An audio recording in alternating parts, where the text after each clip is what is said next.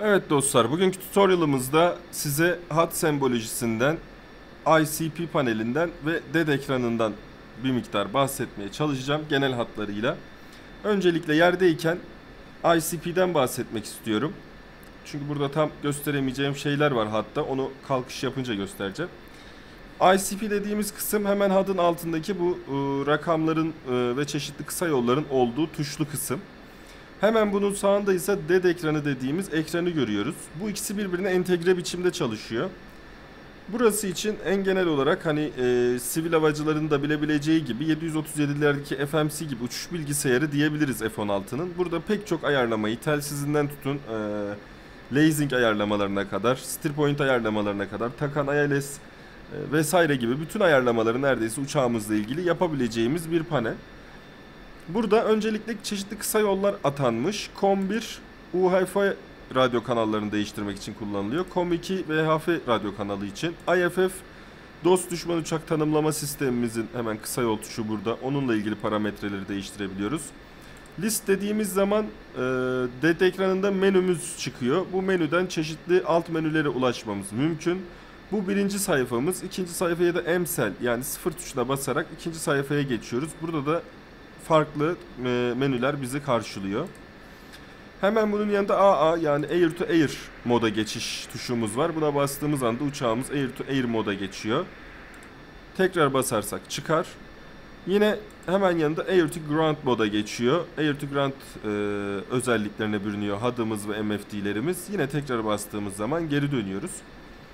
ICP'mizin genel olarak kullanımı ise şu şekilde. Örneğin UHF kanalına girelim. Burada kanal değiştirmek istiyoruz. Örneğin şu anda 305'te. 305.5'e geçmek istiyoruz. 305.5 yazıyoruz gördüğünüz gibi. Ve Enter tuşuna bastığımız zaman bakın UHF 305.5 olarak ayarlandı. Diyelim buraya e, olmayacak bir değer girelim. 750 girelim.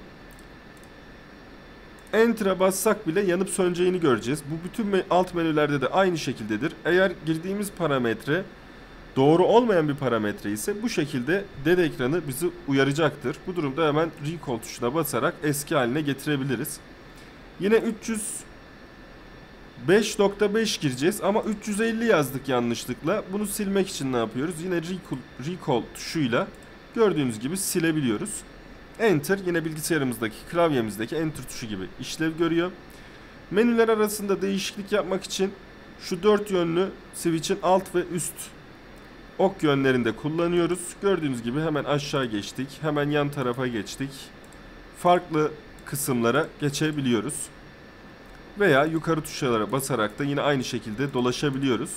Burada dikkat edeceğimiz şey şu iki tane yıldız işareti hangi parametreni e, içine alıyorsa o parametreyi değiştirebileceğimiz anlamına geliyor.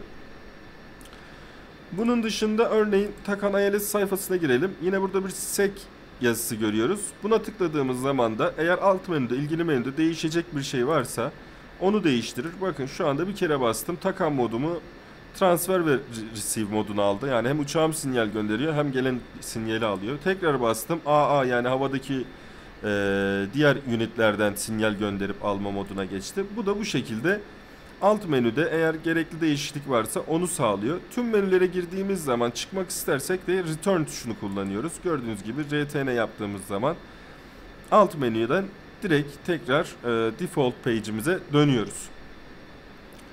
Bunun dışında şurada bir de Drift Co'yu anlatayım. Drift Co'da da Warn Reset tuşu zaten Warning Reset. Ee, yani herhangi bir warning olduğu zaman onu kapatmaya yarıyor. Normal şartlarda normda duruyor. Herhangi çok rüzgarlı vesaire gibi havalarda bizim hadımızdaki göstergeler rüzgarın esiş yönüne ve sertliğine göre kayabilir. Sağda mesela şu bölgede veya şu bölgede durabilir. Sağda veya sola kayabilir. FPM'imiz ve iniş çıkış e, çizgilerimiz. O durumda takip etmekte zorlanabiliriz e, parametreleri. O durumda drift koyu bir kez yukarı kaldırdığımız zaman o rüzgar etkisini sıfırlayarak tekrar aynen bu şekilde ortalayarak bizim önümüze getirecektir bütün menüleri. Bunu da o gibi durumlarda kullanıyoruz. Onun dışında şu anda en genel olarak DED ve ICP'den bahsedebileceğimiz durum bu şekilde.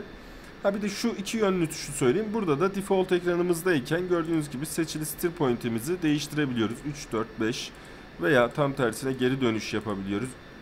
1'e tekrar getirdik. Bu şekilde onları değiştirebiliyoruz. Şimdi dediğim gibi şu anda yerdeyken hatta bazı göstermek istediğim kısımlar tam olarak görünmüyor.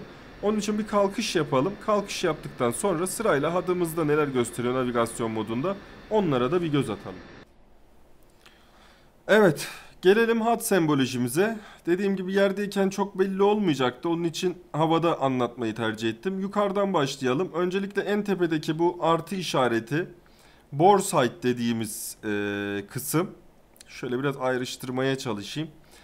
E, bu bore site'ımız yani e, nasıl anlatabilirim? Tam olarak hedeflemeye yaramaz ama çok önünüzdeki eğer düşman uçağı yakınsa bunu da düşman uçağının üstüne getirerek top atışı yaptığınız zaman isabet ettirme imkanınız var. Bunu daha çok bir referans noktası olarak düşünmekte fayda var. Şöyle biraz yakınlaşalım adımıza. Hemen altında gördüğümüz FPM dediğimiz Flight Path Marker'ımız.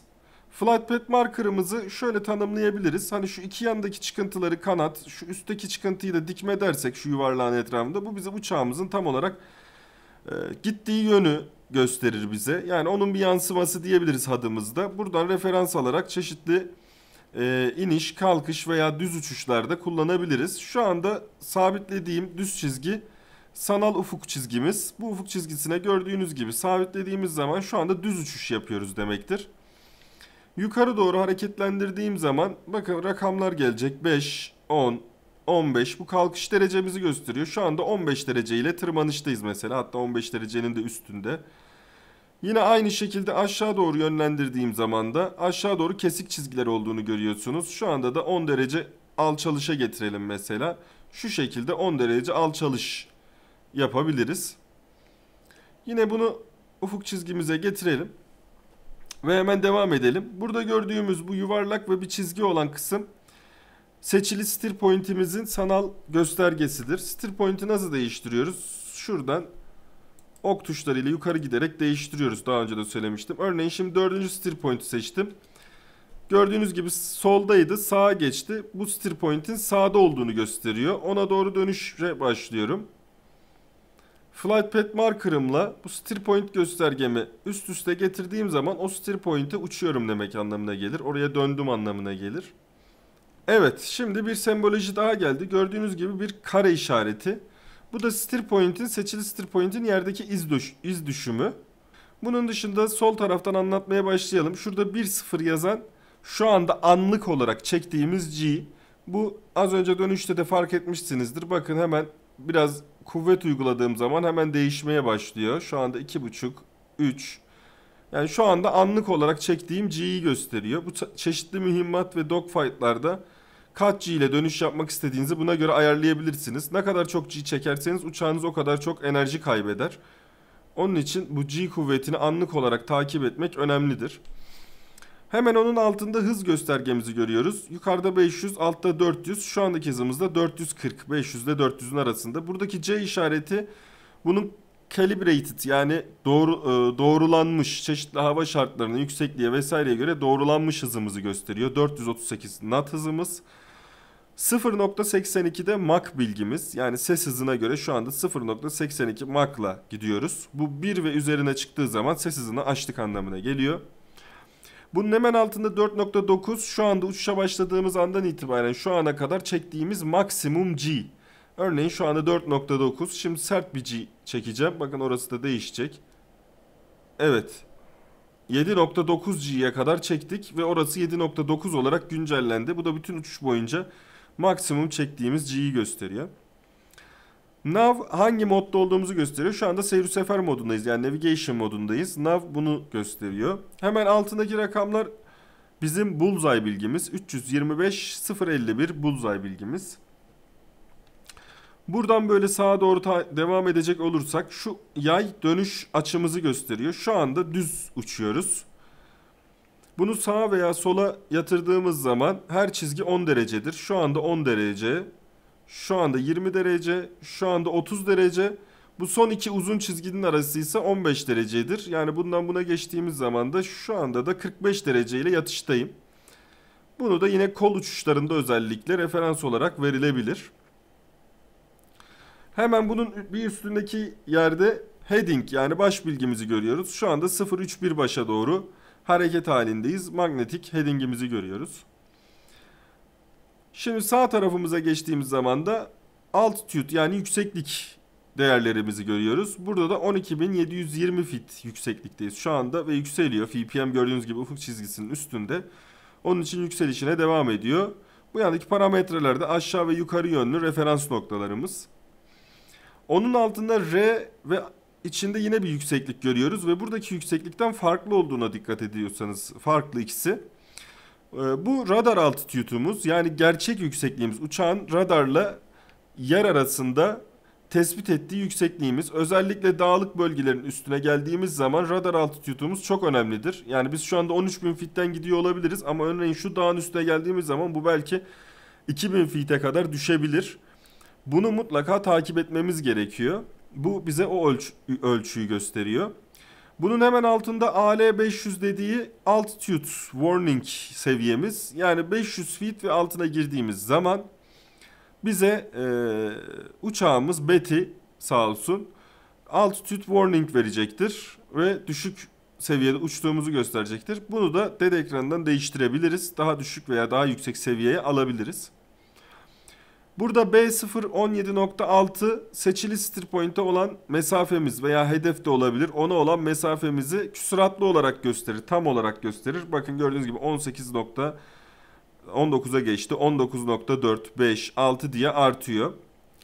Onun hemen altındaki zaman bizim steer point'e olan mesafemiz. Steer point'in üzerinde olacağımız mesafemiz. Şu anda uzaklaştığımız için bu zamanda artıyor. Steer point'e dönüş yapmış olsaydık, yaklaşıyor olsaydık azalacaktı ve steer point'in üzerinde kaç dakika sonra orada olacağımızı gösterecekti. Hemen onun altında da hangi steer point'e gittiğimiz sağ taraf onu gösteriyor. Şu anda dördüncü steer point seçili. Ve dördüncü steer point'e kaç mil mesafemiz olduğunu gösteriyor. Gördüğünüz gibi yukarıda küsuratlı gösteriyor ama aşağıda tam sayı olarak şu anda 24 mil diyor. Ama 24.67 normalde devam ediyor. Buradan da seçili steer point'e olan mesafemizi ölçebiliriz. Genel olarak HUD, e, ICP ve DET bu şekilde. Tabii ki hava hava hava kara, dogfight gibi durumlarda HUD'daki sembolojiler, MFD'deki sembolojiler değişebiliyor. Ama onları da yeri gelince anlatalım. Şu anda bu kadar bilgi olması yeterli genel anlamda. İzlediğiniz için çok teşekkür ederim. Şimdilik benden bu kadar. Takipte kalmayı, videolarımızı izlemeyi devam edin. Görüşmek üzere.